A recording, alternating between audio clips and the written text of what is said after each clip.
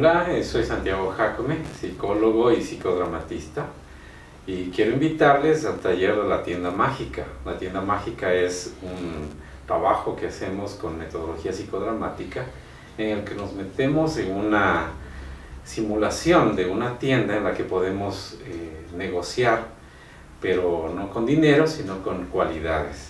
Aquellas cualidades que ya no queremos tener y aquello que necesitamos.